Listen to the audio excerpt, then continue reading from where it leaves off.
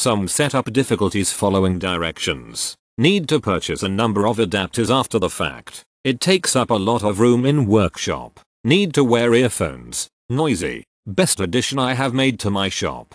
Get the remote control because you will use it more frequently. Great packing with no damage. Love this machine for my small shop. Exceeds my expectations for this price point. He does a lot of woodworking in his shop. Since I bought him the vacuum, the shop is always free from sawdust. No more dusty shoes or sawdust on the kitchen floor or on his loathing, hair etc. Working as advertised for me, it has very good suction power. Seems to be well made. Good thought was put into the manufacturing and packaging of this item. I'm very happy so far. I've had it for a month, and it has performed well. The packaging was excellent. Assembly was easy. I might need a little more power in the future, but for now, using 1-2 power tools at a time, this unit delivers. I'm not big on Chinese MFG, as I think they still need a few years to get things right. However, this one was MFG'd in Taiwan. Yes, it's still Asia,